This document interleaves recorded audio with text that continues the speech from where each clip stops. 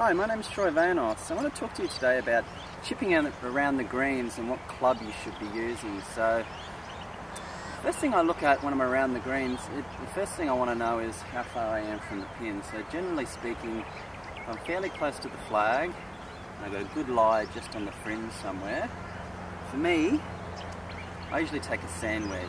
Um, sometimes maybe a pitching wedge, but if I've got a good lie and I need and I don't have a lot of green to work with, I'll usually take a sand wedge and then just try to bump one up there somewhere. So if I've got a little bit more green to work with and I need the ball to roll out a bit further,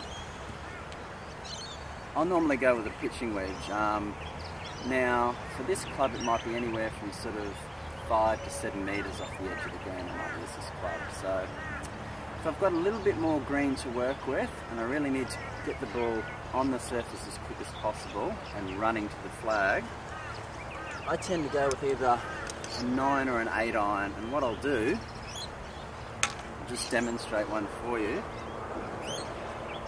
I'll try to get the ball running as quickly as possible on the green. So I normally play it somewhere in the middle of the stance. Hands forward,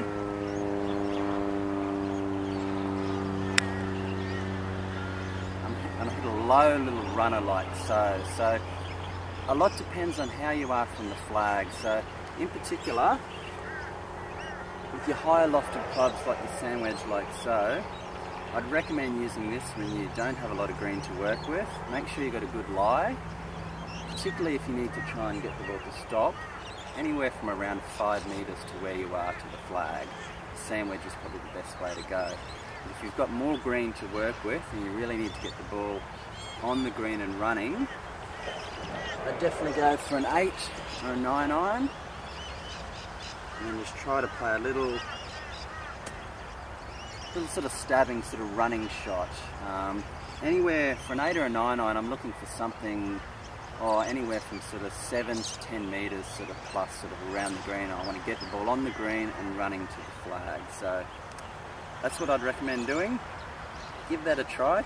Experiment with different clubs. I, know some guys that use as much as a six or a seven iron, particularly when they're trying to play a little runner towards the green. So you need to really work on each club, see what fits best for you. Uh, for me, it's anywhere from a sand wedge to an eight iron, and um, that works well for me. But give that a try yourself and see how that goes. So thanks for watching. Um, I look forward to talking to you again soon and I'll um, see you later. Bye for now.